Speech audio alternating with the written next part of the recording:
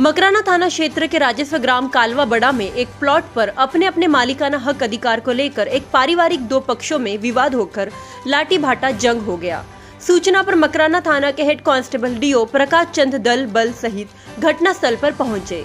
दोनों पक्षों को समझाइश किया। नहीं मानने पर दोनों पक्षों के चार आरोपी कल्याण राम प्रजापत, नाथुराम राजू राम प्रजापत, प्रेमाराम कुम्हार को शांति भंग के आरोप में गिरफ़्तार किया।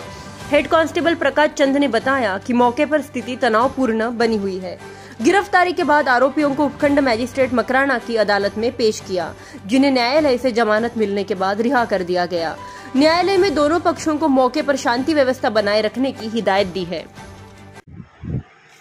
आज जो आपने एक जो गिरफ़्तार की है इस संदर्भ में जरा जानकारी हाँ ये जानकर कि कल्याण राम ने कंट्रोल रूम नागो को इतला दी थी कि भाई मेरे प्लॉट के बाद को लेकर आपको लड़ाई झगड़ा हो रहा है। जिस इतला पे मैं पहुँचा तो वहाँ पर राजू राम, कल्याण राम, प्रेमा राम रघनाथ राम आपको जो प्लाट की बात को लेकर आपको लड़ाई झगड़ा कर रही थी।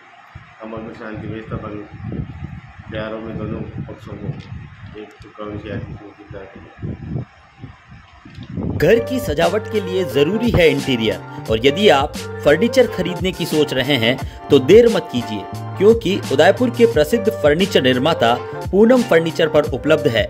सभी तरह के उच्च क्वालिटी फर्नीचर और साथ में फाइनेंस सुविधा भी।